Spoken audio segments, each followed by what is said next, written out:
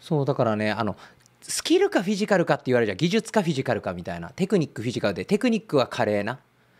フィジあもうテクニックだとエジルみたいなとか。イスコみたいな。でフィジカルだとファンダイクとか。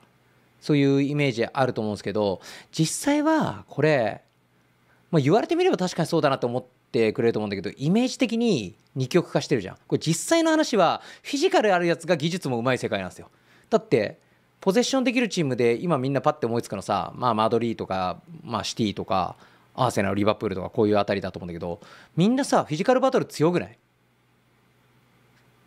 それを保険に技術で戦ってるじゃないですか。だからフィジカルが弱いけどあそこ技術で圧倒してるなってチームないじゃないですか。だってペップ・バルサとか言われても実際にメッシってフィジカルモンスターだしプジョルとかピケとかあのアビダルとかそういうねフィジカルで支えてる人たちはいるからねその時のイブラがいたりビジャがいたりアンリがいたりとか。そう。だそういうところで根っこでフィジカルは鍛えなきゃいけなくてその先の技術で。そう。でそれをそれがね魂あるからこそ普段から技術フィジカルを鍛えられてでそこに知性を植え付けて鍛えてきたフィジカルとか技術のパワーっていうのをより一層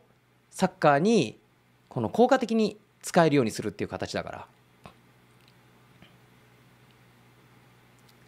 それをすごい感じたからだから監督としてはその基準をより一層高く持たなきゃっていうのを選手に伝えやすい。これがね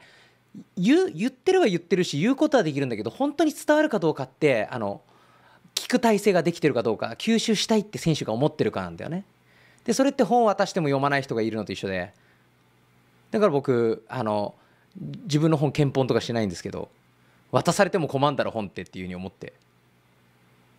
でそれと一緒だからで今本を渡したら読んでもらえるタイミングが来たなって思ってます選手たちに。まあ、それでも読まない選手は読まない選手だけどもうそういう選手はねプロの世界だからねこうやっぱり出番少なくなっちゃうじゃないですか。だ監督としてはその基準を上げるっていう